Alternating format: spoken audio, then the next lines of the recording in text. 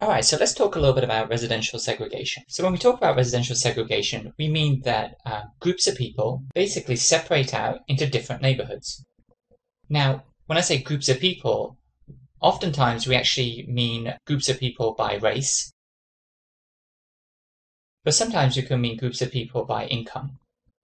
Now, what's really important about um, segregation, this residential segregation, is the concept that where we live really affects our life chances.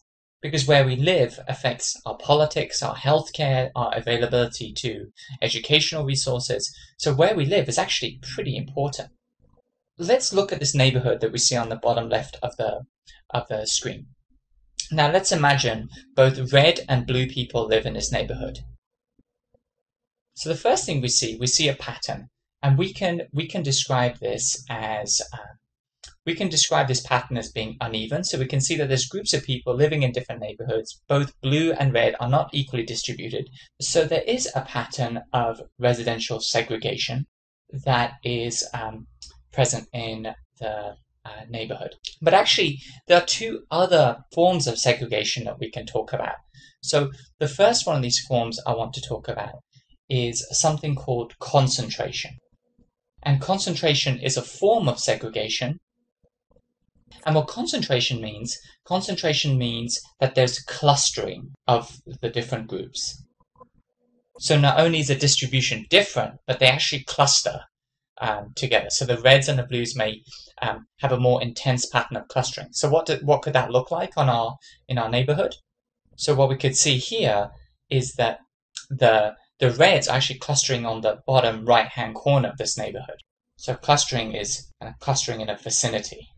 And this is actually, the form of segregation is called concentration. Now, what if you had segregation and concentration, but it was actually, uh, the clustering actually occurred right in the center of a geographic area or a metropolitan area? Well, that would actually be called something a little bit different. And that would actually be called centralization. So centralization is segregation plus clustering in a central area. And what would that look like? So in a central area. So what would that look like in our on our chart? So in our chart, if the reds were very centrally located, like so, then this would be an example of centralization.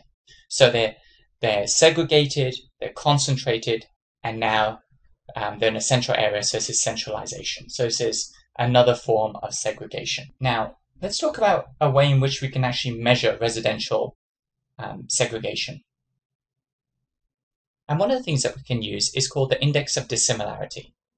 And the index is a scale going from 100 all the way down to zero. And at zero, we are saying that we have total segregation. So the communities are completely separate. And at 100, we are um, experiencing perfect distribution. So if we imagine a city that has four neighborhoods, neighborhood A, B, C, and D, and in the city live the blue people and the red people, in this example, we would probably be very close or at zero because we can see that the red people are completely segregated in their own neighborhood compared to the blue people. However, if we change this up a little bit and actually disperse the red people up into different neighborhoods and disperse the blue people, we would actually be much closer to that perfect distribution. So this is an example of one of the measures that they that are, is commonly commonly used to measure um, this residential uh, segregation. Now, finally, one of the things we should also also do is ask ourselves why is um, residential segregation important? Because communities that are segregated are politically weak. Their political interests do not overlap with the political interests of other communities. And when that happens, they become politically vulnerable. They don't necessarily have the votes or the political influence to keep their own schools, um, establishments, community centers open compared to other communities who are much more um, politically integrated. Another factor to consider is that communities that are very isolated, their language may change. Their language can be different from the language um, used in other communities, even within the same city. So there could be an element of linguistic isolation.